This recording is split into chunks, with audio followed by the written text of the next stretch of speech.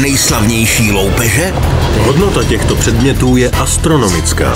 Mazaní zloději? Riskovali své životy a vzpírali se zákonů. Pro vzrušení, pro peníze, pro slávu. A detektivové, kteří je pronásledovali. Vypadalo to, jako by snad lidé tomu chlapíkovi fandili. Sledujte unikátní dokument Loupeže století. Ve čtvrtek ve 21.50 na CS History.